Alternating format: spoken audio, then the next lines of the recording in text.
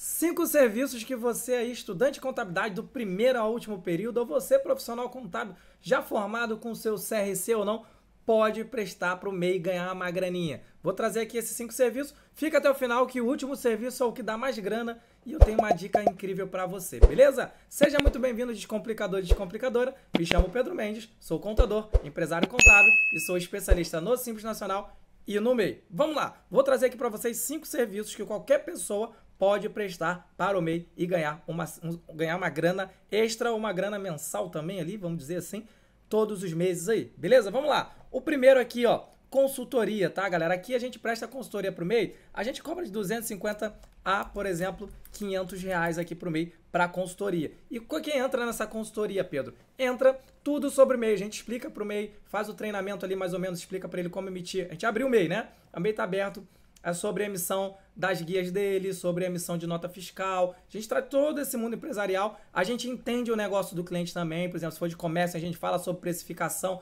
fala de, do, do mundo inteiro ali, vamos dizer, empresarial, que o MEI está inserido. Se ele for de serviço, a gente fala sobre obrigatoriedade da nota, sobre como é que emite, o que, que ele precisa, o que, que ele não precisa, como ele faz para precificar, a importância do controle financeiro. Então a gente traz toda uma consultoria para ele ali e dá para ganhar uma grana do MEI aí. A gente dá para cobrar de 250 a 500 reais para o MEI. Beleza? Outro tipo de serviço que a gente pode prestar para o MEI é esse daqui, ó. Emissão de nota fiscal. Aí botei aqui, por exemplo, 30 reais por nota de serviço tá? Mas você pode cobrar do MEI para emitir nota de produto também. E pode fazer pacote. Se o MEI fizer uma nota, 30 ou 50 reais, ou mais notas, ah, de 10 notas, a gente faz tanta coisa. E pega, tá? Por exemplo, nota fiscal de serviço para MEI eletrônica, naquela nota fiscal nacional. Então é, não é tão difícil.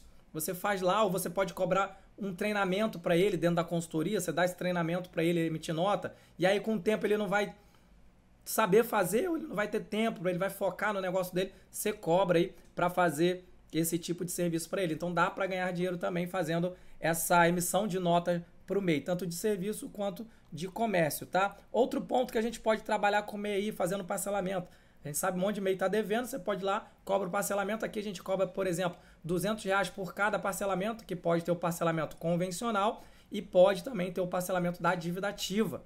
Isso é muito importante. Então a gente cobra para fazer o parcelamento. Lembrando que a gente não cobra esses 200 reais, não está inserido a emissão do DAS mensal do parcelamento, da guia do parcelamento. Se ela quiser, a gente manda para ela todos os meses a guia ali, tá? A gente pode fazer isso daí, tá? Ok? Um outro aqui, o quarto serviço que você pode prestar para ele também é o DAS nesse MEI, que é a declaração anual que todos os meses são obrigados a fazer, até no mês de maio de cada ano. Se não é feito, tem a multa mínima de 50 reais tá? E a gente cobra aqui normalmente 150 reais para aquele MEI que já tem o faturamento. Agora, aquele MEI que não sabe quanto faturou, ele manda extrato, maquininha de cartão, você que tem que fazer todas as análises e corrigir tudo, ajustar tudo ali, a gente não não cobra esse daí, a gente cobra um pouquinho maior, tá? Mas dá para ganhar uma grana prestando esses serviços aí. Agora eu vou trazer o serviço que mais aparece para mim, tá? É claro que existem outros serviços que você pode prestar para MEI, tá? Lembrando que quem tem escritório de contabilidade não pode cobrar para abertura do MEI.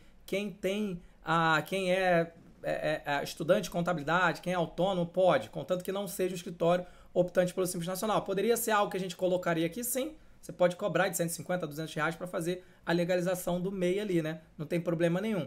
Mas um, um serviço que mais aparece aqui e o que mais dá para a gente ganhar grana é esse aqui que eu vou trazer para vocês. E antes de eu passar o serviço que mais me dá dinheiro e que mais aparece, se você quiser aprender tudo sobre precificação de serviços contábeis, tanto para MEI quanto para Simples Nacional, eu vou te convidar para você se tornar membro aqui do canal, tá? É R$ 7,90 ou R$ 99. Você vai ter acesso exclusivo a essa aula completa e diversas outras aulas exclusivas, além de muito bônus com materiais complementares, com PECs, modelos de contratos, planilhas e descontos em todos os nossos treinamentos, tá? Então se torna membro, clica aqui embaixo, tem um botãozinho escrito torne-se membro, ou lá na descrição também tem lá membro, torna, torne-se que você vai ter acesso toda essa aula e diversas coisas que eu trouxe aqui para você, tá? Então voltando lá, o serviço que mais dá dinheiro aqui, o serviço que mais dá dinheiro é esse aqui, ó, regularização de MEI, tá? Regularização de MEI. A gente consegue cobrar aqui para regularização de 400 a 900 reais. A gente aplica uma estratégia, tá? Incrível aqui para conseguir isso tá? A gente faz uma coisa bem específica, tá? Para fazer isso daqui, mas dá para cobrar de 400 a 900 reais fazendo a regularização. Por quê? Você vai fazer a apuração dos DAIs em atraso, vai fazer as declarações anuais em atraso, os DAIs mês que ele não fez. Às vezes vai fazer o parcelamento do Simples, o parcelamento dentro do site do Simples e o parcelamento da dívida ativa. Então você faz quatro coisas ali no mínimo para esse cliente. Então dependendo da quantidade de coisas que você vai fazer e dependendo da quantidade de anos, que pode ser cinco anos, você pode cobrar 900 reais. É claro, tem que aplicar uma estratégia que a gente aplica aqui, que a gente consegue fazer essa redução de tributação, tá? Então isso aqui dá dinheiro pra caramba, ainda mais no começo do ano, que eles estão cheios de problema, inscrição, a, a, a, o CNPJ fica inativo e eles não conseguem sacar, não conseguem fazer nada e vem correndo para regularizar. Cheio de débito aí, mas você vem e faz serviço para ele, dá para cobrar. Dá para cobrar esse valor com certeza. E aí, você presta algum desses serviços aqui? Come, coloca aqui nos comentários qual serviço desses você presta e se você tiver alguma dúvida, pode colocar aqui também que eu vou te ajudar, tá bom? Lembrando, quer ter acesso a toda essa aula, torne-se membro aqui do canal e tenha acesso a isso e um monte de outros conteúdos. Valeu? Não se esqueça de deixar o like e se inscrever no canal se você gostou desse conteúdo e compartilha para mais alunos, mais profissionais, mais estudantes de contabilidade consigam ganhar uma renda trabalhando com o MEI, tá bom? Um grande beijo, abraço, tchau, tchau, até mais.